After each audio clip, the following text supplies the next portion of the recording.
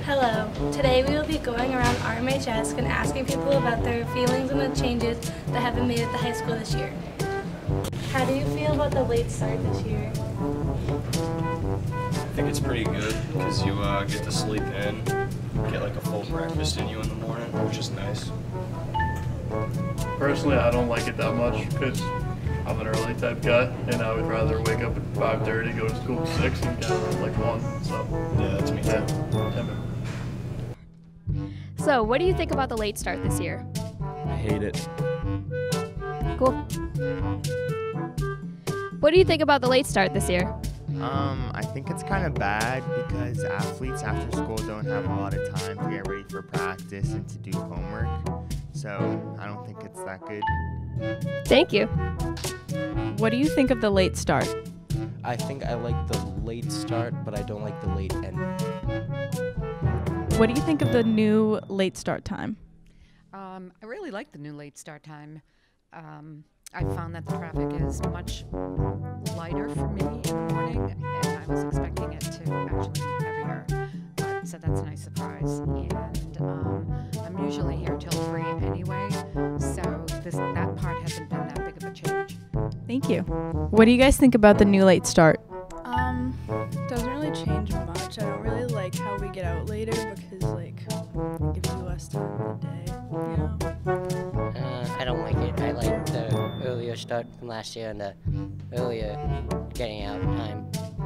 What do you think of the new late start time? Um, I think it's fine. If it works for kids, then that's great. What do you think of the new vice principal?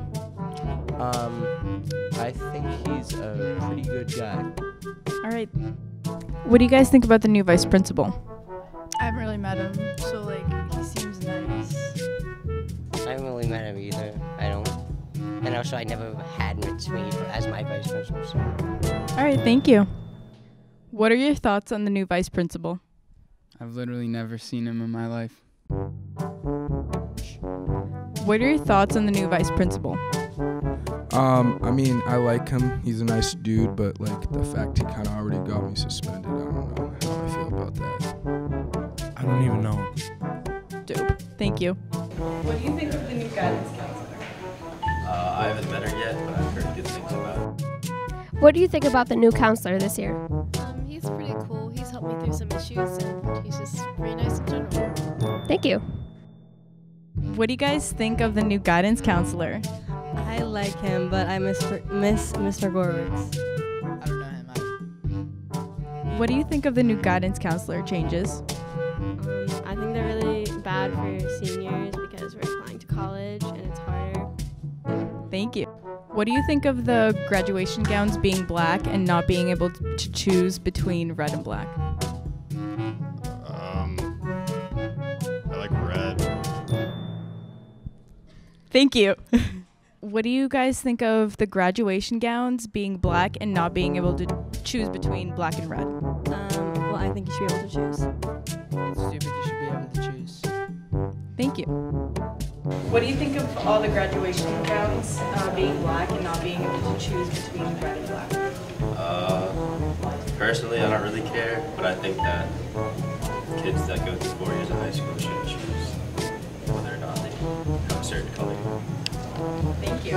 Um, are there any rumors you've heard about this year so far? I don't know what that means. Same here, but I heard the boat cruise kind of kind of blows. oh, really? Oh, yeah, no, I heard about that last year. It was like raining and stuff. Thank you. Are there any other rumored changes that you've heard of?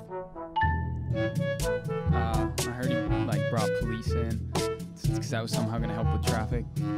It didn't. Thank you. All right, now you know. Thanks for joining us at RMHS.